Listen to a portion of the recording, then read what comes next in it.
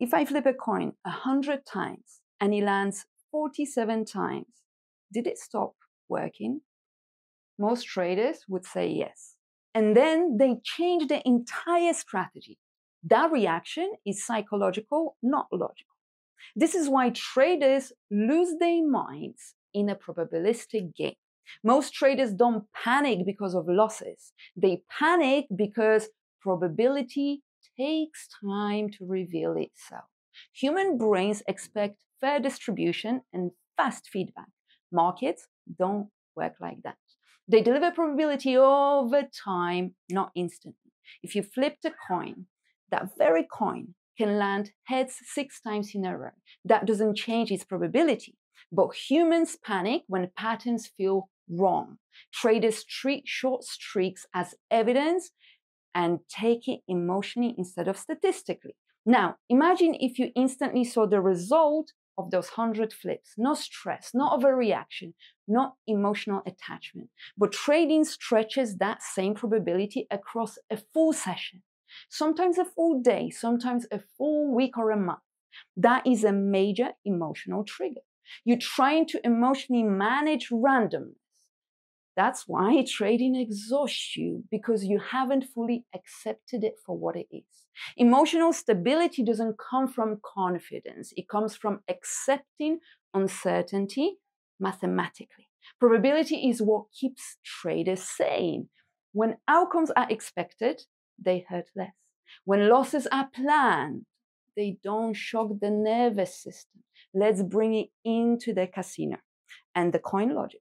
Casinos understand probability deeply. They know losing days happen. They never ever change their rules mid loss. Risk emotionally, chase variance. Casinos don't manage emotions, they manage expectancy and their strategy. Traders think like players. Profitable traders, though, think like the house because casino lives by the rule of same game, same rules, same risk over and over again. What is the lesson for you traders? Win or loss, move on.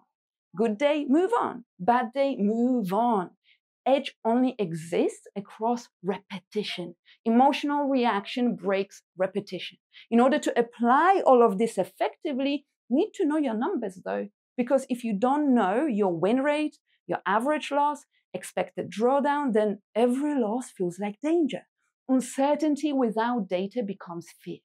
Backtesting isn't just for entries, it's for emotional preparation too. So I am asking you in 2026, stop trying to feel certain. Build a system where uncertainty is already priced in. The market doesn't reward prediction, you know, rewards repetition and preparation. So there is the real question you need to ask yourself as a trader. Not was it a good win or loss, but did I execute my edge and allow time to do its job? Because the moment you start measuring yourself trade by trade, you stop being a trader and you become a gambler, reacting to outcomes. That's player thinking. House thinking is different. The house doesn't wake up emotional. The house doesn't need reassurance. The house doesn't look for certainty. The house trusts the process because the process has already been tested. Most traders are mentally exhausted, not because trading is hard, but because they constantly asking their nervous system to decide something it cannot know yet. Every trade asks, is this the one? Am I right? Is my strategy failing? That's unbearable over time. But when you think in probabilities, something shifts into acceptance state and what trading truly is. You stop asking the market to confirm you what this is you start letting your edge express itself. And that's when trading becomes quieter, calmer, more boring in the best possible way. It means you define risk before you trade. You accept drawdown before it happens. You judge performance only after a meaningful sample size, not after one day, not after one losing streak, not after one emotional session. Because edges don't show up on demand, they show up over time. In 2026, Stop trying to outsmart randomness. Stop fighting variance. Stop demanding instant feedback from the probabilistic system. Become the house. Same rules, same risk, same execution, over and over again, boring, because the market doesn't reward the most emotional trader and excited trader. It doesn't reward the smartest prediction either, or the most fancy analysis. It rewards the trader who stayed consistent long enough for the math to finally speak. Win or loss, move on. That's how professionals survive the market. That's how they scale in the market. And it's up to you whether you will do the same.